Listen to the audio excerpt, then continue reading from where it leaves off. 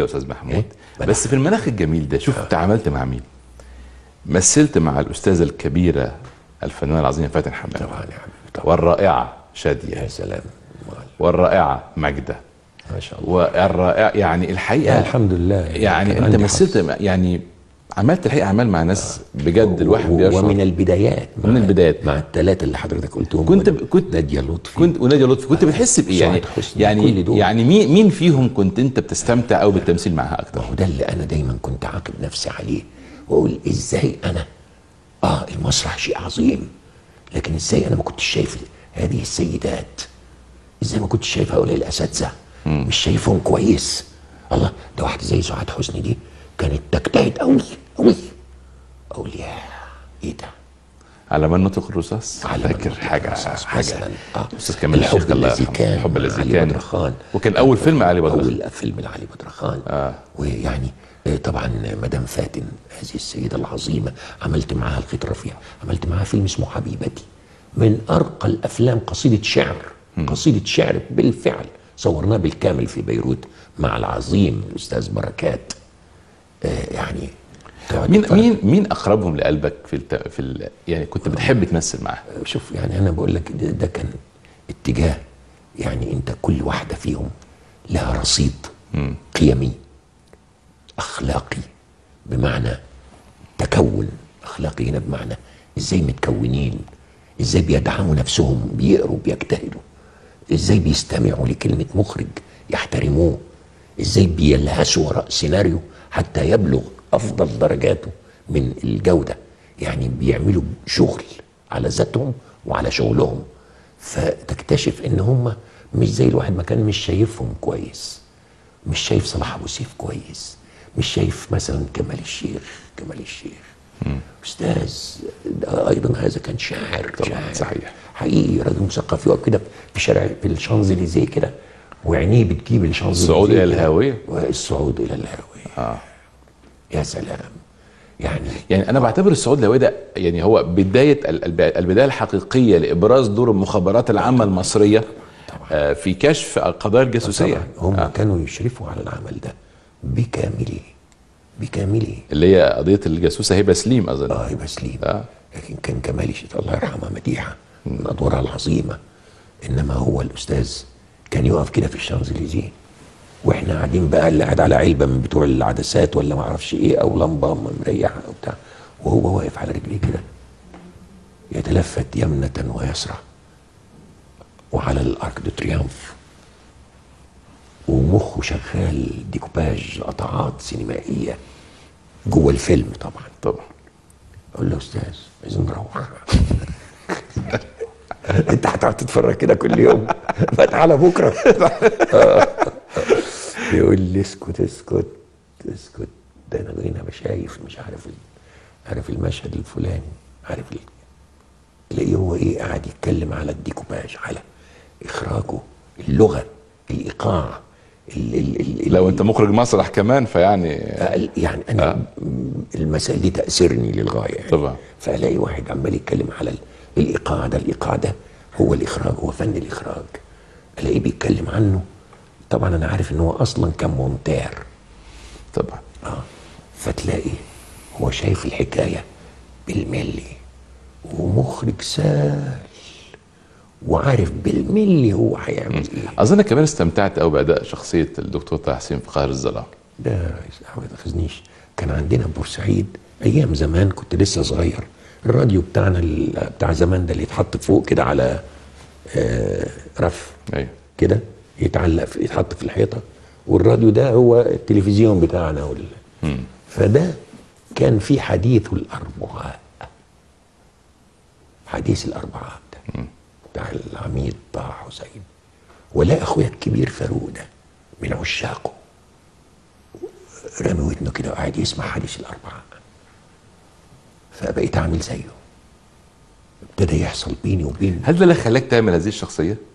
هذه الذكريات الأولانية. كانت تراكمات أنا طبعا عملت رواية الأستاذ كمال الملاخ قاهر الظلام اللي اجتهد جوه آه، روح العميد وكل تراثه ال- ال- الثقافي الأدبي وجمع من خلال صداقته أو قربه بشكل أو بآخر كصحافي كبير جمع مادة يصنع منها كتاب قارئ ظلام لما جينا بقى معانا سيناريو. أنا رجعت للأيام. ما أقدرش ما ما طبعاً. ما أعملش أنا مجهود أنا كمان. مجهود إيه؟ كممثل. أنا هشيل مسؤولية العميد. هل قارنت أو حطيت في الاعتبار وأنت بتعمل هذا الدور الدور الذي أداه الفنان الراحل أحمد زكي في الأيام في التلفزيون؟ يعني هل فكرت فيه ولا؟ لا لا لا. هقول لك ليه. لأنه أنا يعني كان عندي علاقة آه، جيدة مع الله يرحمه آه، يحيى العالمي.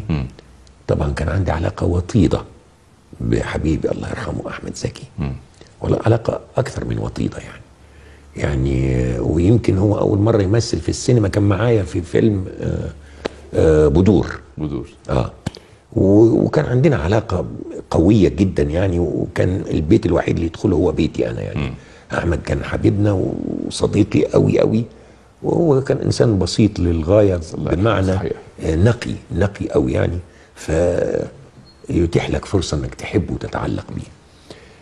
فأنا كنت عملت قاهر الظلام.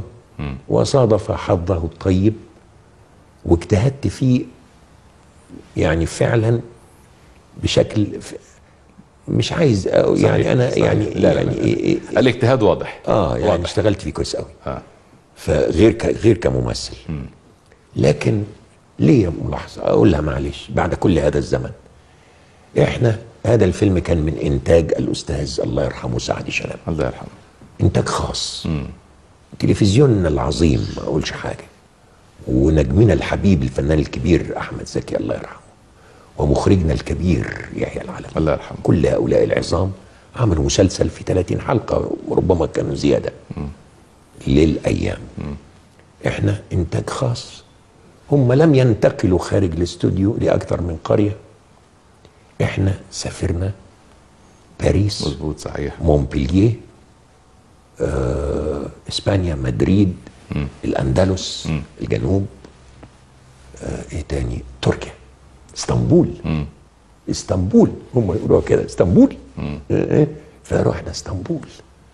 وصورنا هناك. هذا إنتاج خاص يا سيدي الفاضل.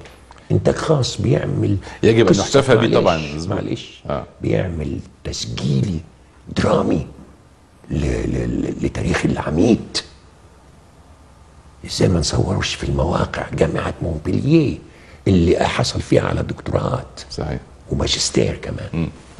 ورحنا قعدنا فيها في مونبلييه ورحنا بس التلفزيون. بيذيع الفيلم يا أستاذ محمود أنا قلتش حاجة آه. لا أصل أنت حطيتني كده حسيت إنك يعني إيه لا لا مش قصدي آه، حطك جبت في حاجة. والله لا أنا عارف لا والله وأنا ما قصدي قلتش والله. وأنا ما قلتش والله أنا أقصد بس إيه أنت خلتني أمام يعني إيه عملين لابد من محاولة إنك تجد صيغة للمقارنة بشكل أو بآخر ليس طب بالغرض. بالمناسبة بتقبل أو بت- بتشوف إزاي اللي بيطلقوا على أسماء الفنانين ألقاب يعني يعني يلقبوا ده ب أنا فاضل لي بس جملة في هذه الجزئية آه. في الجزئيه دي. اللي هي اللي فاتت أنا كنت بشوف إنه فيلمنا قاهر الظلام كان لديه رصيد ضخم من المحبة والإيمان برسالة ما لدى الأفراد. خلاص؟ آه. وقناعات حقيقية تبحث عنها. واتعملت ورحنا لآخر الدنيا عشان في رحنا تركيا. و-. ورحنا سكننا في مناطق وفي ما. بين فندق ضخم وعملاق وفنادق صغيرة في حياة شعبية. وعملنا شغل جدير مع مخرج كبير جدا. الله عاطف يرحمه. سالم. عاطف سالم. صحيح. اجتهادات. أنت أمام ناس جاية تجتهد مش هزار. وعارفه إنها أمام مسؤولية جبارة. آه، مع كل الاحترام المسلسل هناك اتعمل بعظمه وأنا شفت شفت أغلب حلقاته كل ما كانت الظروف بتتاح لي وأحرص على إني أشوفه وعجبني للغايه الحاجة الوحيدة الجمله اللي طلبت إن أنا أقولها وبرضه رغيت في أكثر من هذا عشان أقول الجملة دي. إنه فيلمنا كان في مراحل لم ترد على نحو متسع رغم ال 30 حلقة. إحنا يعني عشنا في مونبلييه فترة الدراسة في مونبلييه وفي باريس وفي مدريد وفي الأندلس طليطلة وإشبيلية يعني عملنا شغل يعني في, في الأندلس وأيضا في آه تركيا في إسطنبول. يعني معلش مع الاحترام.